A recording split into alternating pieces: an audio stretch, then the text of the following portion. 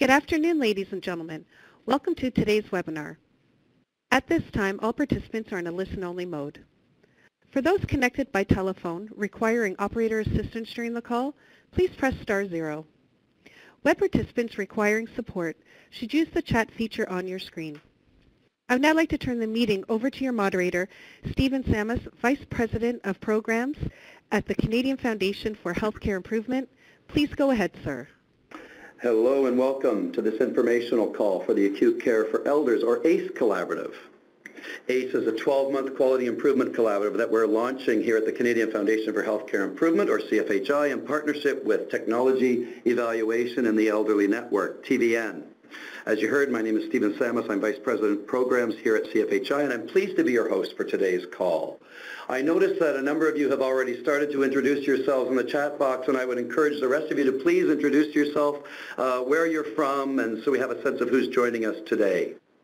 Uh, I'll also take this moment to introduce our speakers. Uh, first of all, we have Dr. John Muscedere. He is Scientific Director and Chief Executive Officer at TVN. He is a Professor of Medicine at Queen's University School of Medicine and an intensivist at Kingston General Hospital in Kingston, Ontario. Welcome, John. And we also have Dr. Samir Sinha.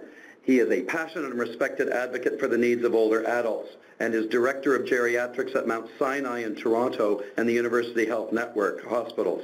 He is an Assistant Professor of Medicine at the University of Toronto and the Johns Hopkins University School of Medicine. He will be the lead faculty for the ACE Collaborative, which aims to spread the successes of Mount Sinai Hospital's ACE strategy more broadly across the country and perhaps abroad. Also joining us today is Claudia Amar. She's a Senior Improvement Lead here at CFHI, and she's the Foundation's lead for the ACE Collaborative. John will start today's call by introducing TVN and how they're partnering with CFHI to support the collaborative. We'll then hear from Samir, who will tell us about the Mount Sinai Hospital ACE strategy and its impressive results, followed by Claudia, who will introduce the ACE Collaborative delivery, format, content, and activities. We're going to wrap up today's call with a question and answer session that will focus on helping you assess your organization's readiness uh, to apply for this collaborative based on the enrollment criteria. First, a little bit about us. The Canadian Foundation for Healthcare Improvement is dedicated to working with healthcare organizations to accelerate healthcare improvement for Canadians. We support the spread of healthcare innovations across Canada. And in 2014, we worked closely with healthcare providers, governments, policymakers, and other leaders to bring about real improvements in the quality and efficiency of patient care, the spread of innovations, and healthcare delivery across the country. On this slide, you see a summary of some of the most common Quality Improvement Collaborative, or QIC, components that were captured in a Milbank Quarterly systematic review of improvement collaboratives done in 2013. It aligns well with how CFHI approaches the design and delivery of our QICs by promoting a focus on improving provider practices or patient outcomes using structured activities for developmental team and cross-team learning, combining expert evidence in evidence-based medicine and quality improvement within an improvement model that prioritizes improvement and feedback, and also relying on multidisciplinary teams who are executing small tests of change. So that's basically how we work through this collaborative approach. And I'm now going to pass it over to John, who's going to share more information about TVN's work and its relationship to the collaborative. Over to you, John. Uh, to be here and uh, as an organization we're we're delighted to participate in in this uh, in initiative. I think that it's uh, it's it's a very uh, important one and certainly is in line with the goals of TVN I'm just going to spend a minute talking about TVN and who we are. We're a national non-for-profit network. We're funded by the National Centers of Excellence um, and we're funded to develop, evaluate, and disseminate knowledge on healthcare for frail elderly Canadians, their families, and caregivers. We're, uh, we're pan-Canadian, uh, and we sponsor multidisciplinary research with academic and non, non-academic uh, partners. Uh, we were launched in uh, July of 2012, and we're hosted here at uh, Queen's University and Kingston General Hospital. our network is Um, it goes across uh, the country. We have uh, 40 member institutions. We fund over 400 researchers. We have over 100 funded research projects, uh, 230 trainees, and 2,400 members. So we're fairly uh, wide. We've grown the network fairly extensive. And one of uh, the our big focus, uh, foci is um, is knowledge mobilization, and uh, we are focused on two things. One is to increase the knowledge of the impact and management of frailty. Uh, we advocate for screening for frailty in the Canadian healthcare systems, and in, and our research programs um, uh, look at uh, improving the detection, prevention, and management um, to reduce future hospitalization, improve outcomes, and to enhance vitality and quality of life for those who are frail. And uh, also we have a strong knowledge mobile, uh, mobilization focus on engaging the frail elderly and family caregivers. Um, and as part of our knowledge mobilization, we partner with industry, governments, NGOs, community groups, and other health networks to leverage our resources. And that's why I think this initiative is, is very important and, and us partnering uh, with uh, CFHI will be, uh, will be a very uh, um, uh, nice opportunity going forward. And saying that, I'll turn it I'll, I'll stop there and turn it over to back to Stephen. Great. Thanks so much, John. We're just delighted to have TVN as a partner in this. The fact that uh, you're a federally funded NCE, really focused on engaging families and caregivers, on implementation, on partnerships and networks. It is a terrific uh, complement to the work that we do here at CFHI.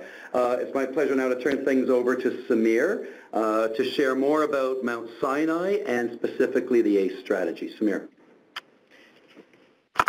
Thank you very much, Stephen, and, um, and welcome everyone as well today. So I'm happy to be here representing a dynamic team from Sinai, um, just to talk a little bit about the need and a little bit about what we've done here and, and what we hope to share with many of you in the collaborative.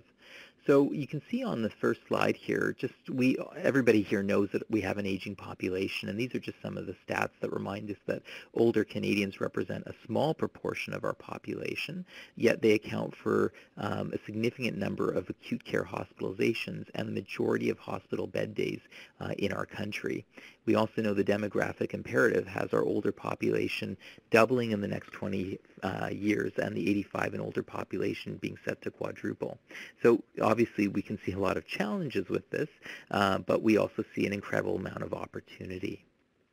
On next slide here, and I apologize for the small writing, um, but uh, the geriatrics at Mount Sinai, we're, we're as officially as an organization, we're located in downtown Toronto as part of, a, of now what we call the Sinai Health System. So we have a few different organizations involved, but principally for Mount Sinai Hospital, we're a 472-bed hospital, um, and we're in a growing uh, and busy part of Toronto. Um, so what we're actually seeing is our emerg volumes uh, of, of our hospital have actually doubled over the last 10 years, uh, and uh, we have significant number of people being admitted um, to our medical services who are 65 and above. And in fact, over the last few years, we've actually seen um, a 53% increase in the last five years of people 65 and older being admitted to our general medical services, not because we're trying to admit more people, but just the pressure on our downtown hospitals is significant. So the hospital took a leadership role back in 2010 by, uh, by making geriatrics a core strategic priority. And really we started operationalizing that as a team by really thinking about our ACE strategy or our acute care for elders strategy that really looked at developing a comprehensive and integrated approach um, that really focused on interprofessional teams in a variety of settings. And really when we started thinking about where our teams could be effective, it was kind of really everywhere across the continuum. So really focusing on uh, partnering with our community partners uh, and interprofessional teams in that environment, thinking about that in the emergency department, thinking about that on our acute care wards, for example, and really making sure that we have a good focus um, with primary and community care sectors as well. Uh, we've received a number of accolades uh, because of this, and we have really used um, uh, our relationship with NICHE, or Nurses for Improving the Care of Health System Elders, uh, to really advance a lot of our work. Um, and recently, uh, we became the first hospital in Canada to achieve the Magnet designation uh, for excellence in nursing as well. Three of our geriatric care models that we'll be talking about have also been designated now as leading practices by Accreditation Canada. So we're quite proud of what we've developed over time. When we think about our ACE strategy and our principles on slide 13, we really focus on four key ideas. One is that we don't want to say that hospitals are terrible places for older people, therefore we shouldn't have hospitals. Uh, we really focus on saying, how do we actually take the care that people will need in hospital and make it more elder-friendly? How do we start utilizing our community or our transitional care services in different ways um, and redesigning them um, in a sustainable way to enhance and improve upon current service models?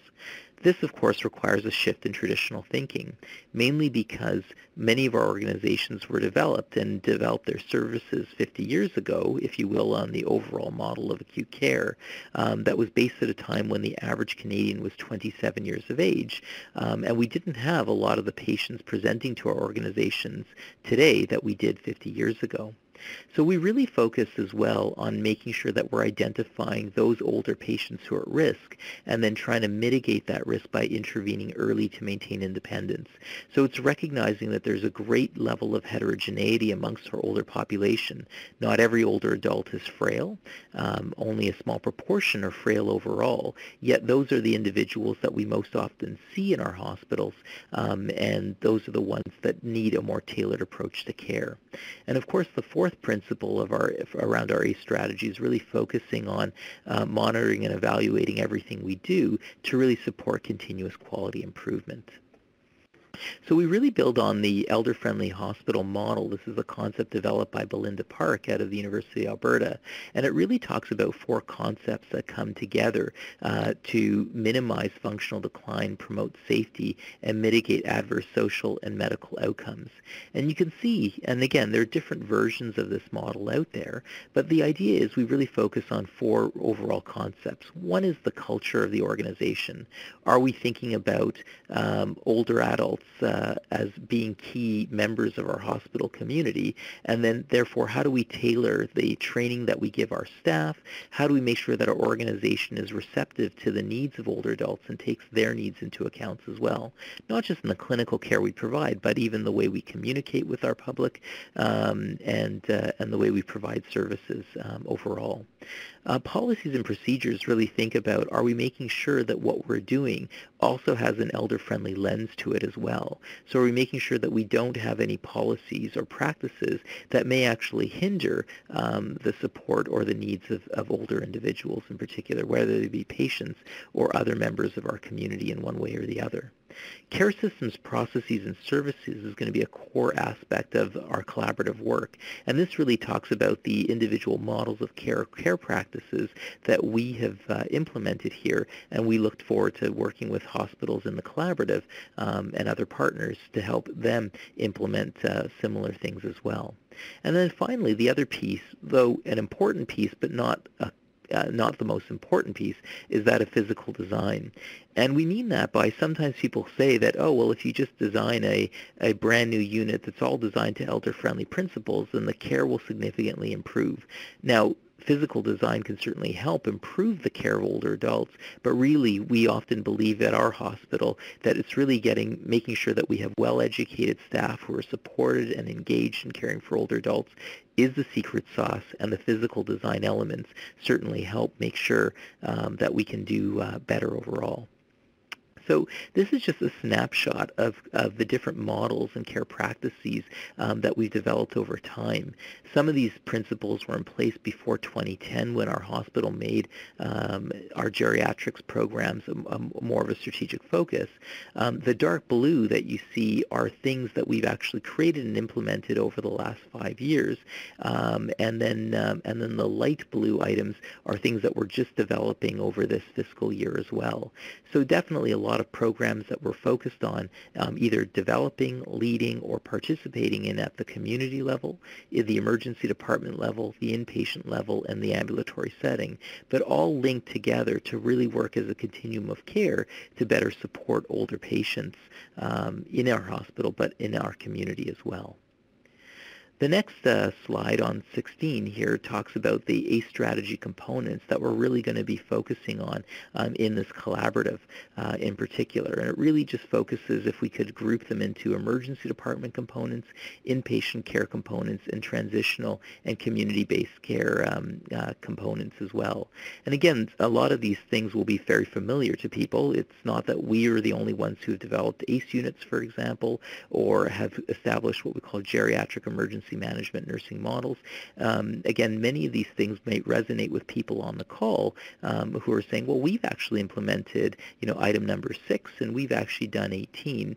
Our goal is showing kind of all the different things that we've actually implemented, and therefore, if your organization sees an opportunity to say, wow, we'd love some real help um, implementing um, an ACE unit, for example, you know, maybe this, then this collaborative is something that can help us um, develop that next model um, that we may have been struggling struggling or we may have been thinking about, but um, this is a great opportunity to do so. So this really focuses on those different components uh, in particular. Um, in terms of how effective has our strategy been, we're really proud to say that developing a, a collaborative approach to care has really shown a significant payoff in terms of overall results. On this slide, you'll actually see the data related to our medical admissions to the hospital. Um, as you can see, just the number of visits to the emergency department on the first line has increased in the first four years of, of our strategy by about 26%. Um, we're just getting our, our latest year's data finalized, but the numbers continue to climb uh, in particular. We've seen an increase in our medical admissions and certainly an increase in the complexity of the patients that we're actually seeing as well. But the key story was by actually delivering more elder-friendly care by utilizing all those new care systems and processes and models with the same existing staff, if you will, we were able to actually decreasing our, decrease our length of stay by 28%. Um, and we're able to get more patients directly back home um, than to other locations like nursing home or nursing homes or rehab centers, for example. And we're able to also see a decrease in our ALC days by about 20%. And actually, we managed to close um, beds during this whole transition, uh, even though we were seeing more patients overall, mainly because we felt that we were able to do this care more efficiently um, and therefore could allow us to actually close beds as well. The next slide actually shows some of the balancing metrics that our team uses as well, because one could say, well, if you're getting patients out sooner, are they being readmitted more quickly? And you'll see that's really not the case. And part of the way we think that we're getting patients, more likely getting patients home and back to the community, is we've been able to really influence certain care um, aspects. Uh, for example, by mobilizing patients um, as a significant part of our, our work that we do on the wards, for example, we've seen a significant decrease decrease in pressure ulcer incidence at our hospital. We've also really focused quite a lot of attention on decreasing the unnecessary utilization of urinary catheters. And so we've seen a significant drop in our catheter utilization rates. Um, and our patient satisfaction, I think because patients are less tethered, um, having less complications and more likely going home, is perhaps why our, our patient satisfaction rate uh, continues to climb. And by doing uh, cost um, costs and economic calculations here, we've actually generated about 6.7 million in cost avoidance alone um, compared to 2009-10 uh, based on the work that we've actually been doing. Um, we have another model that we do, that, that, that we've been doing is called our GEM Nursing Initiative in the emergency department. And you'll see here from this slide here um, that we really by focusing uh, in this model that uh, was staffed in 2014 with two and a half nurses uh, working over the course of uh, 2.5 FTE nurses who are working over the course of a week, 8 a.m. to 8 p.m. Monday to Friday, and then about eight-hour shifts on the weekend. What we're able to see was that over the course of one year, they were able to see just over a thousand patients.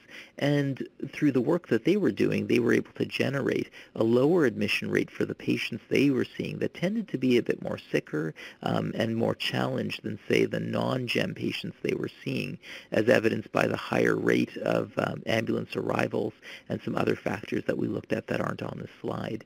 But the key was that they achieved a lower admission rate compared to the patients they weren't seeing, who may even have been a little less acute. Um, and this translates into fewer admissions um, and avoided bed days, which again translates into potential savings for the hospital as well. Finally, um, another slide really talks about our orthogeriatrics model, for example. Again, we're in a busy um, and growing part of downtown Toronto, so our volumes continue to increase um, overall in terms of emergency department visits. And you'll see that our hip fracture admissions, um, again, if you have a hip fracture and you come to, your to our hospital, we have to admit you, and we're going to obviously offer uh, patient surgery if it's appropriate. But overall, by delivering more efficient care um, in a collaborative geriatric and orthopedic model, uh, what we've been able to do is significantly decrease length of stays, um, decrease our ALC days per patient, and again generate um, a significant level of savings uh, with only a, less than 200 patients in the last year um, that we had data for this as well. So that's basically uh, what we've been up to, um, and uh, we're really proud about what we've been doing. But the key messages are this is really a team-based approach to care. This has been a great partnership um, with my colleague Jocelyn Bennett, um, who is really helping to lead a lot of the administrative uh, work at our hospital over the last number of years, um, and also a group of clinicians, not just doctors, but nurses, social workers, therapists, really helping to lead that care. So I'll stop there and, and pass it over to the next presenter. Great. Thank you so much, Samir, for that excellent overview of the ACE strategy. And, uh, you know, the data that you present really do uh, show, demonstrate that this is an excellent example of better care, better health, and better value. Um, so we're very excited to be partnering with you and with TVN on the uh, spread of this wonderful work across the country. Before I turn it over to Claudia, who's going to really introduce the ACE Collaborative and its structure, we're, we're going to throw up a little poll. We're curious to know um, your answers to a couple of questions. The first one is, how is your organization doing in terms of implementing elder-friendly models of care and processes? Which phrase best describes where your organization is at? Um, a, we are currently implementing elder-friendly models of care and care practices. B, we're thinking about implementing elder-friendly models of care and care practices. Or C, we're not yet implementing elder-friendly models of care and care practices. And then the second question, so we'll give you a moment to respond to that, um, and then the second part of this would be, what questions can we address for you today that will help your organization or practice decide if this collaborative is a good fit? So we'll just take a few moments here while you can respond to those two questions.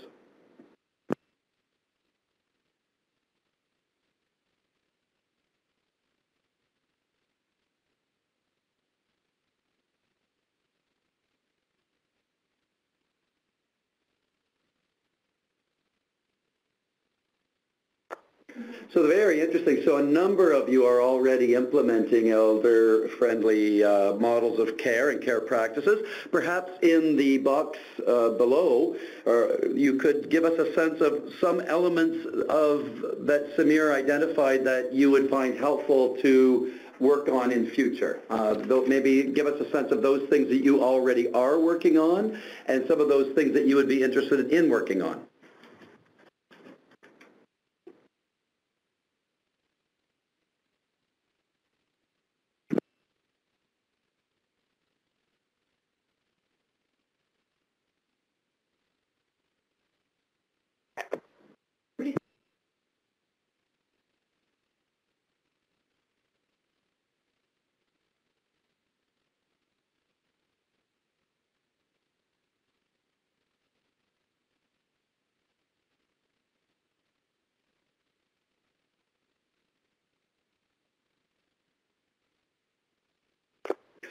Well, thank you so much. It's very interesting to see uh, both the data at the top and some of the questions below. And I noticed that some of the questions below, we will uh, get to your questions in due course, but I noticed that the nature of many of the questions really is around the collaborative and how it's going to work and what we're going to try to do. So with that, I think it's a great time to turn it over to Claudia. Perfect. Thank you, Stephen.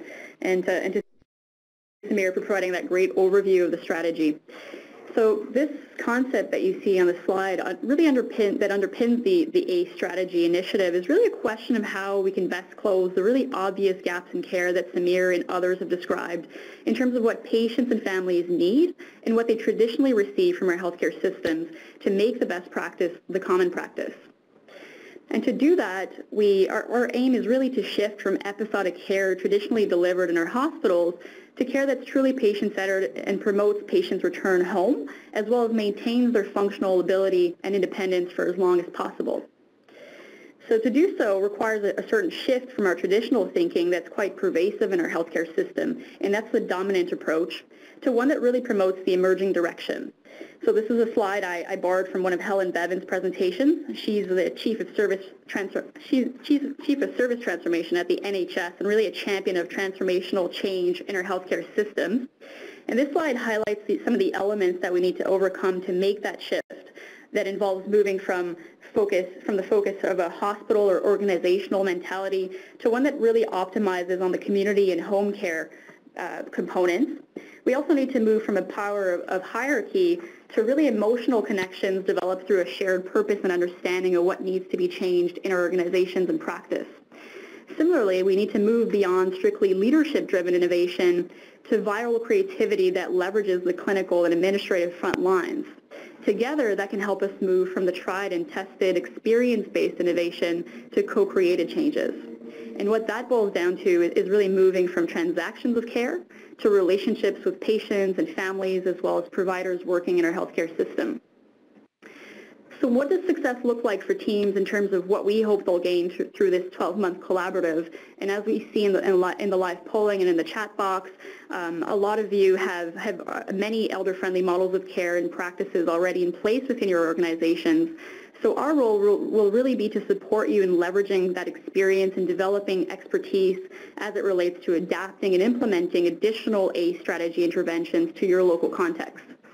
So ultimately, that's about helping you to improve patient experience and satisfaction, and that should be our number one priority. It's also about improving the staff experience and satisfaction. It's about providing more coordinated care across the care continuum and really leveraging the hospital to home and community care aspects of this strategy as well as, as partnerships that can develop. And it's also about improving the system outcomes that, that um, result as a, as a, as a a result of these initiatives. So that's really about removing, reducing the number of um, overall emergency department visits, the hospitalizations, as well as the patient complications. So here's some of the core elements of the collaborative, and it's a 12-month initiative that starts next March until March of 2017. Up to, six, uh, up to 15 successful teams are going to be accepted into the collaborative, and they'll receive seed funding of up to $40,000 each for the, the direct costs associated to adapting and implementing the ACE strategy interventions. It's a largely virtually delivered program, which is going to focus on providing teams with education and training in both evidence-based medicine as well as quality improvement through webinars. They're quite a, a similar technology to what's being offered today with our, our teleconference and, our, and the visual that you see. And we'll have some specific calls for team leads as well as those working on measurement and so on so we do expect that some of that workload is going to be distributed amongst the team. And a portion of the calls are also going to be dedicated to cross-site learning about your initiatives and in progress.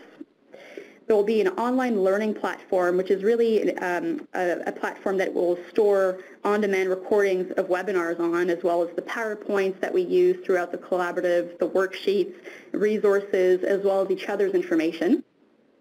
We'll be offering some coaching calls with individual teams on a regular basis, some of those will be scheduled in advance, and some of those will be initiated based on your own need. Um, there will be th about three sets of team progress updates throughout the year, and those will provide an opportunity to share the latest successes, challenges, and milestones amongst teams, and also to, re to receive some of the live feedback from faculty and staff participating on the calls. We expect to have one face-to-face workshop in the fall of 2016 based on where we see teams coming together from across the country and even potentially internationally. And there is this idea of, a, of a, that we're launching a policy leadership working group, which is the role of which is going to be to consider the necessary management, governance, financing, and policy factors to really support the readiness, implementation, sustainability, as well as scale-up of elder-friendly practices, both within organizations and regions. So in terms of key upcoming dates, we have February 1st, 2016, which is our deadline for submitting an, an, application form, and that's available through our website as of this morning. And we've also included the link on one of our later slides. And as I mentioned earlier, we will be limiting enrollment to 15 teams, so please be sure to submit your application before the deadline. We've intentionally held three dates, so February 19th, 22nd, and 24th as dates to conduct what we call readiness interviews.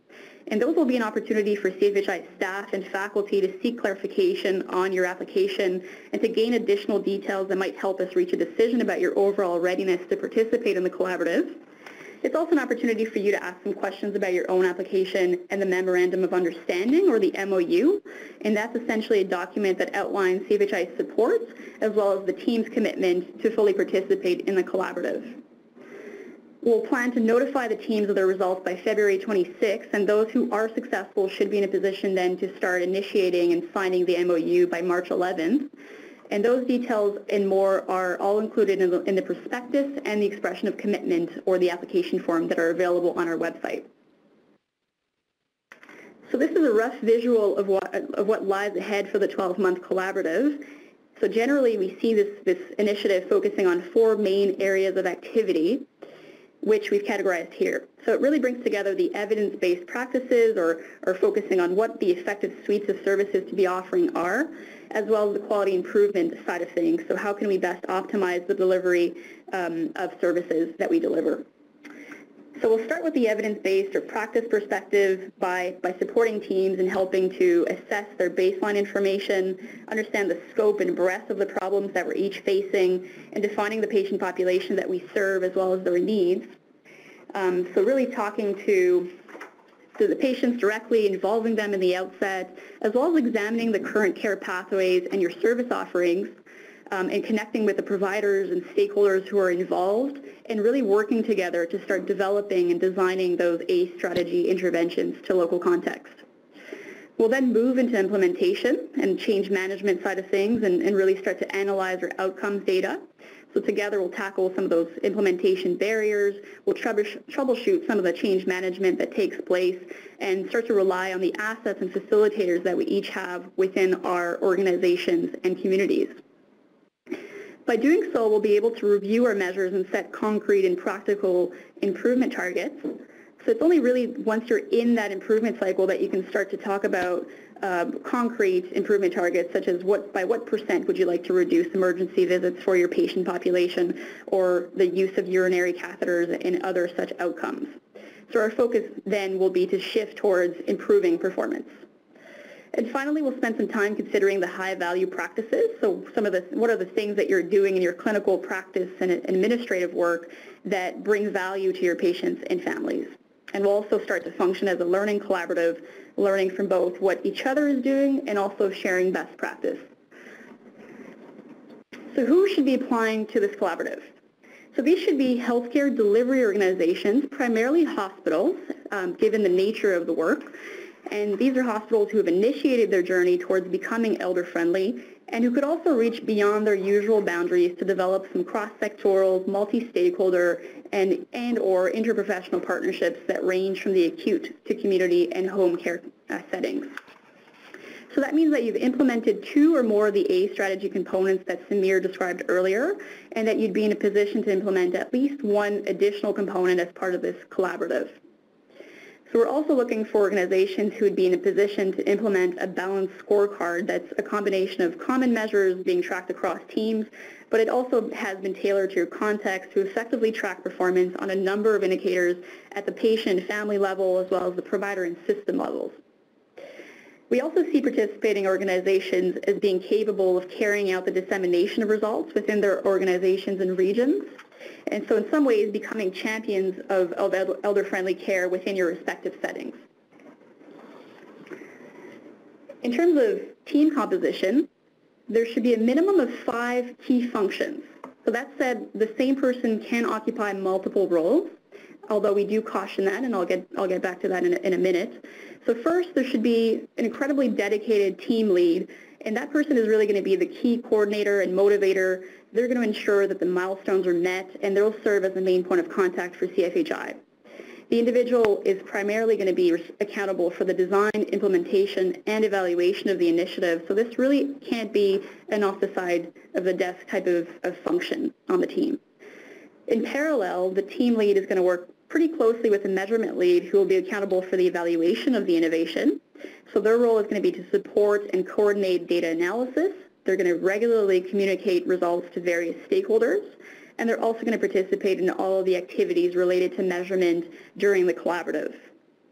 Uh, and in previous CFHI collaboratives, the team lead has also been the measurement lead for certain sites, and we don't recommend that as those are two of the most demanding functions on the team. There should also be at least one physician champion, and their role is going to really be to work with the team lead and provide necessary clinical support to staff depending on the available resources within your organization, that physician can be ideally a geriatrician, but it could also be a primary care physician or, or even a palliative care physician, depending on your available resource base. Similarly, there should be at least one nursing champion, and we do uh, reiterate that it's at least one nursing champion, so there can be more as part of your team, as you'll notice that there's a, quite a strong emphasis on nursing in the ACE strategy.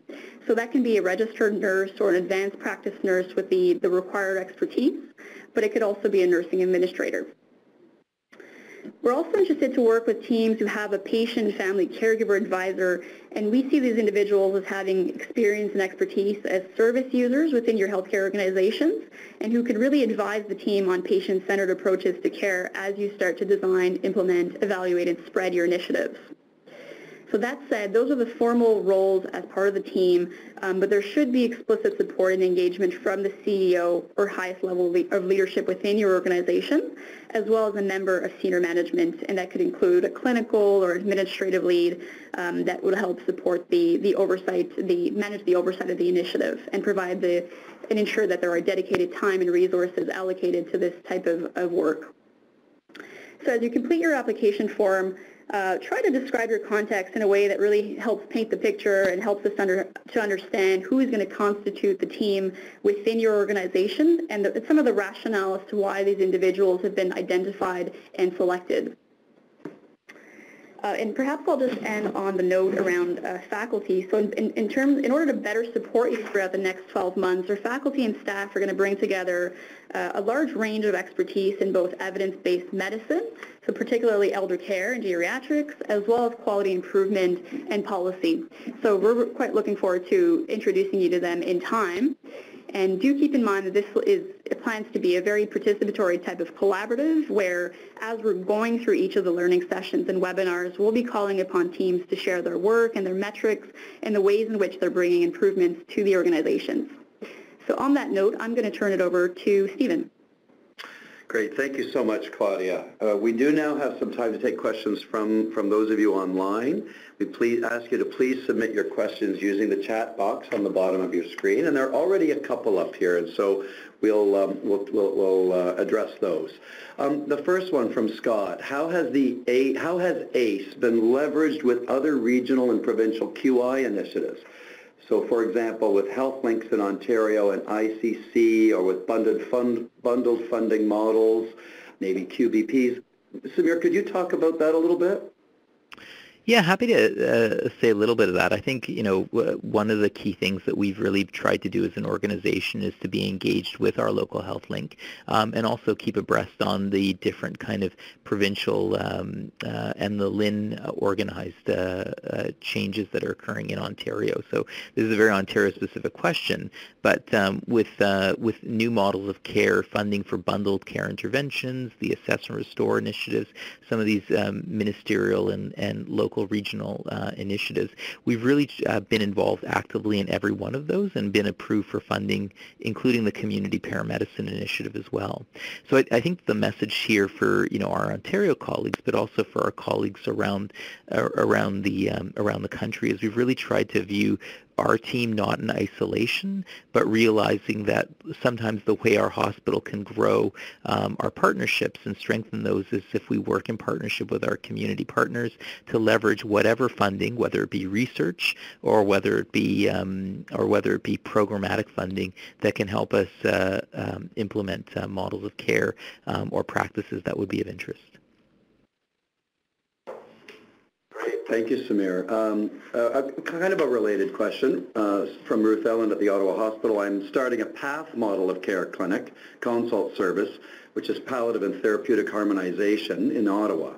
Um, is this something that fits with the initiative? Is this something that you would see as fitting in with an ACE strategy? Again, Samir, if you could answer that one, please.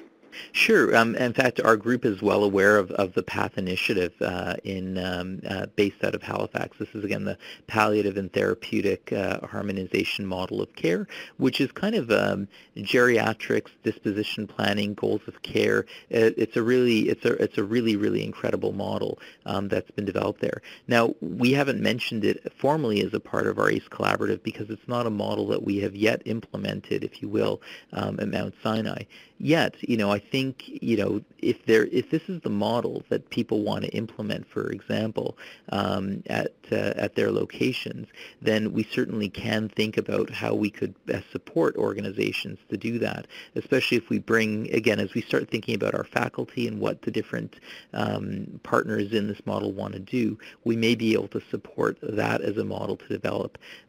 I think really, I think as talking to Claudia and Stephen and the team at CFHI, you know, Mount Sinai has implemented a lot of the models that are out there, but not all of them. Um, and really the collaborative is, it's a learning collaborative where we hope to learn from other folks as well. Um, but I think, you know, the key is as people are thinking about their applications, tell us about what you want to do and implement, um, even if it's not necessarily on the list, because we may be able to still, you know, bring those groups into the into the collaborative um, if it makes sense and they and they fit the other criteria, and we feel that we can support um, the the the knowledge and and and and the um, and the coaching required. I'm, you know, I may have spoken on behalf of CFHI and TVN there, but I think Claudia, is that in line with what we've talked about as well in the past? Absolutely. So if there's some form of alignment with what we're trying to achieve, um, and we've listed the 18 interventions because those are best practices and they, they really span the continuum of care, but we're certainly going to be looking forward to see some of the adaptations that organizations have, have implemented um, as they submit their for commitment. I think it's also fair to say that in our other spread collaboratives that we've done today here at CFHI, there is always this bi-directional learning. I mean, people are learning about uh, best practice uh, from, from Mount Sinai in this case, but there are things going on out there in the world that we are all learning from as we learn together. It's very much a collective learning environment, and we understand that there are um, uh, elements that are maybe not in place at Mount Sinai that are in place somewhere else, and we all gain that knowledge through participating together.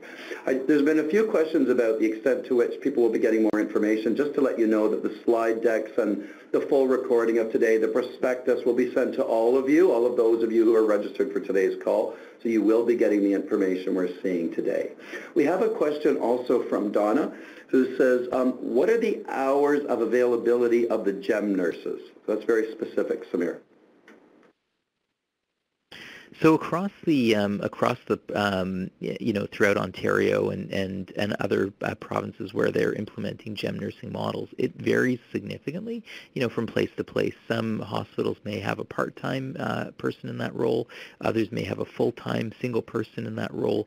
We've really seen the value of the GEM nursing model here, and so in addition to some of the regional funding we get, um, our hospital and the ED doctors themselves have topped up the funding um, so that we have two, so that last year we had two and a half uh, full-time equivalent nurses doing that role.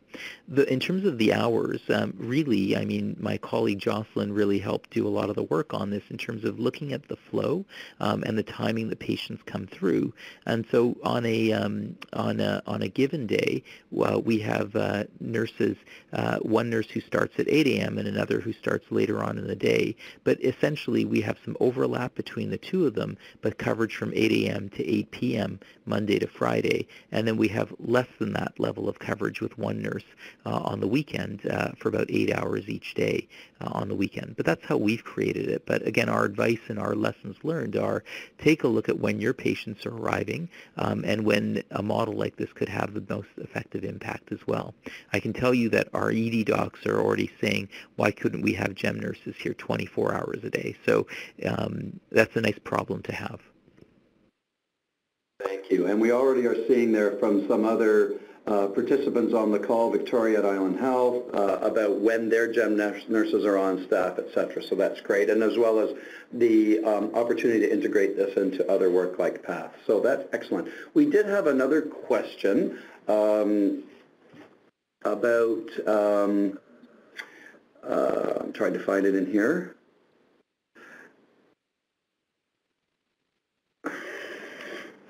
Think you have to go further up. No, I think we might, uh, Um, might be good. no, I think we might be good. Oh, yes, okay. That's it. What did you implement? So, Samir, this is really looking at the whole issue of the coordination of care and the, the you know, really understanding and doing well the transitions in care. And this is a um, question from Veni, which is, what did you implement within ACE to better integrate with the patient's GP and the home care team. So really, if you could speak a little bit more about that coordination of care, both with the primary care provider and the uh, home care providers. So great question, and I think again one of the philosophies that we really want to do is make sure that we try and be as seamless as possible, even though we are so siloed with the care that we provide. Um, so one of the things we've done is with our local home care agency, for example, um, we have coordinators who are based in our hospital. We have coordinator who, a coordinator who's based in our emergency department, uh, and then we have coordinators who are, are working with our community teams, for example. And these are home care coordinators. But for example, for our inpatient geriatric rounds, you know, for our consultative service, um, we actually have uh, the home, home care coordinator who comes, you know, to join our geriatric rounds on a on a on a weekly basis and is also kind of the lead coordinator who helps to work with our most complex patients um, that we collectively identify between the hospital and the local home care uh, authority as well. So we've tried to build models where we can actually um, physically actually get people meeting each other face to face so that people know each other's names, they know each other's numbers, so um, so that we can actually have more face-to-face and, and telephone communication.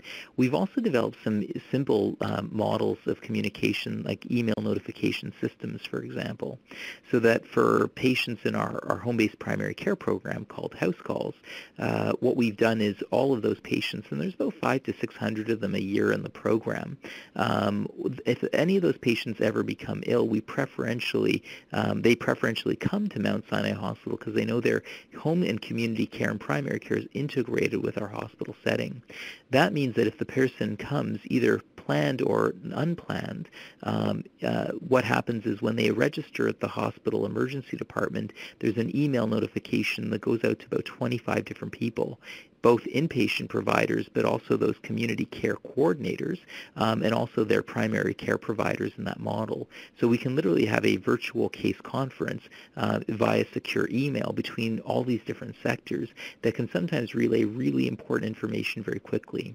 We've also tried to adapt some, some basic principles in our models so that if any of us ever come across a patient who doesn't have a primary care provider, one of the things we try and do besides treating the pneumonia is make sure that we find the person a primary care provider. So I do that quite a bit through my clinic. Our GEM nurses do that for their patients in the emergency department, and we do that as part of our discharge planning and disposition planning for patients leaving the inpatient ward um, as well. So we really try and um, do a lot of work, and those are maybe just a few examples of how we're trying to really improve communication between our primary care, home and community care, but also our acute care providers as well. Great. Now this, this question is really related to that, Samir. It's from Victoria at Island Health. Do you have a way to receive the patient care plans along with their own goals from the GPs or the NPs in the community care, uh, in the community, sorry, once the people are admitted? So um, again, another really good question is that um, what we, you know, we're more integrated with some primary care providers than others um, because I think similar to other parts of Canada, um, we have uh, sometimes we have challenges where people are solo practitioners or they may be, uh, and they may not have electronic health records. Um, sometimes people are part of groups, for example, um, and then uh, and then we have more integrated teams like our House Calls team, which is a group of four primary care providers um, who work very closely with our group as well um, in that way.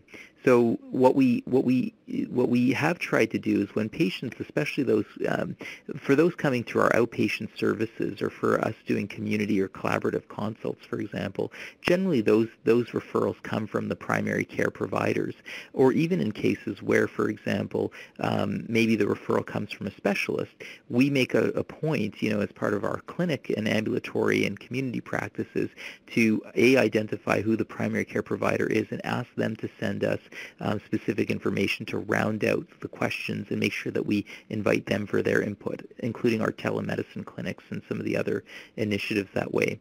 For patients who come into the emergency department, um, we really try and encourage primary care providers to engage with our emergency clinicians.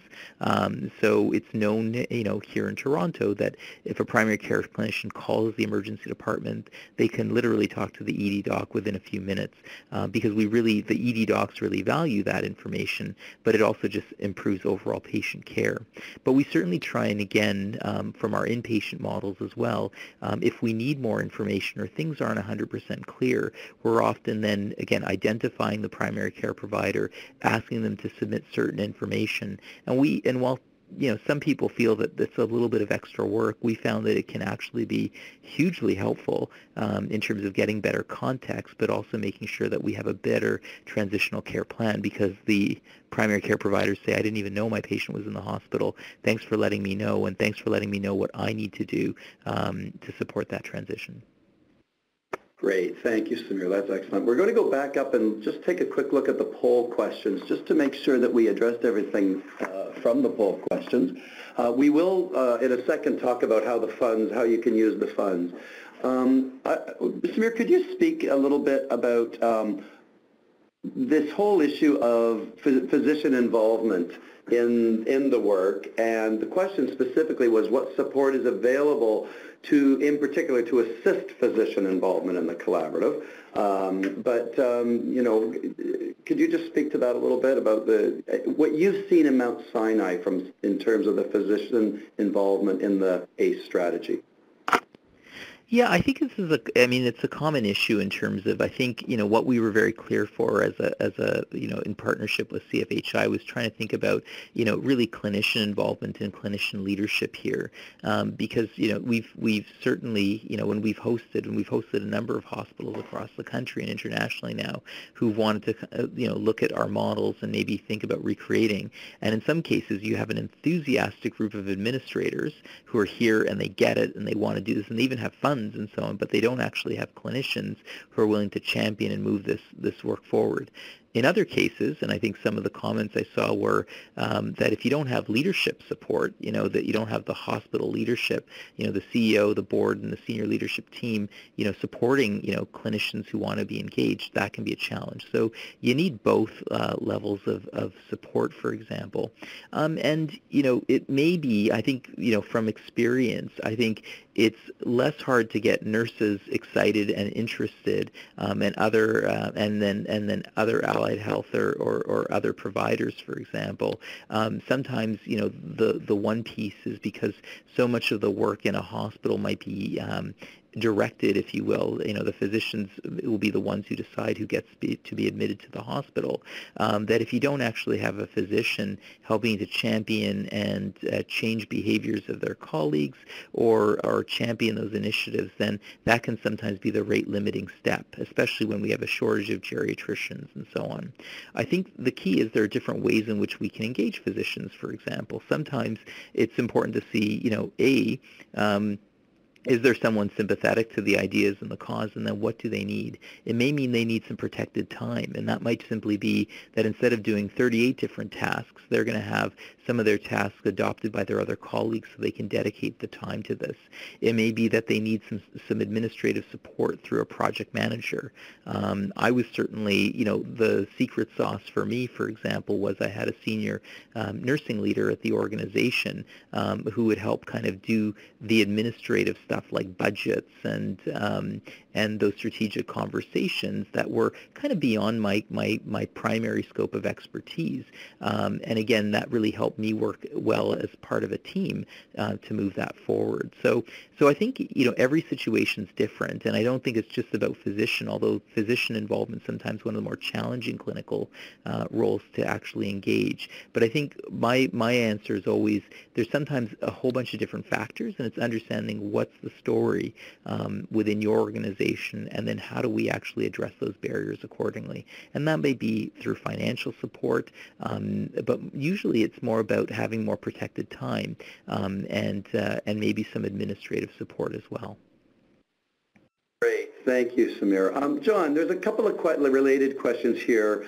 Um, one is around the whole issue of leadership buy-in and how you, you know, how you best um, get that leadership buy-in for this kind of work. The other question is a little more specific around how do you shift resources from a traditional care model to more of a geriatric-led model with that requisite leadership support. From your experience, John, could you just comment on that? Well, I, I think organizations, eh, especially to address the the growing um, the growing uh, problem with uh, um, with with uh, um, in, uh, with the increasing number uh, of uh, seniors and elderly, particularly the frail elderly. Um, in in hospitals and and basically the way to engage that is that the organization if it addresses this population well will actually function a lot better at the end of the day because um, these are the type of patients which have very high needs, can stay in the hospital for long periods of time and are very vulnerable to adverse health uh, adverse events, which are all things that uh, organizations are very in tune Uh, in tune to. So I think focusing on those things is that we want to improve care and reduce the, the number of adverse events that this patient population suffers is a good way to engage the leadership because leaderships in hospital want to focus on these, want to focus want to improve care. And there's also some funding attached to that. So there's multiple areas which I think can be used to engage the leadership to, to participate um, in this initiative. And in, in, regards to the question of reallocation uh, of, um, of uh, resources, if uh, certainly, I mean, you have to dedicate resources to where the greatest need is and the people that are the most vulnerable. And this is the group that is most vulnerable. And I think focusing on that will help uh, guide that conversation. It's never easy, but at least it's, it's a way forward. Excellent. Thank you so much, John. Uh, before we end today's call, we wanted to point you to a few resources including the link to the prospectus and the expression of commitment. And there were some questions around the funds and what the funds can be used for. That's very uh, we think, clearly articulated in Appendix 1 within the expression of commitment. So first thing we would do is refer you to the resources that are available as part of this call, the prospectus, the expression of commitment, the explanation of the resources and how they can be used. If you have any questions, you can get back in touch with us after having taken a look at that. You can also find resources on the Mount Sinai ACE strategy and the contact information for Jackie St. Pierre, the manager, manager of partnerships and the main point of contact for TVN.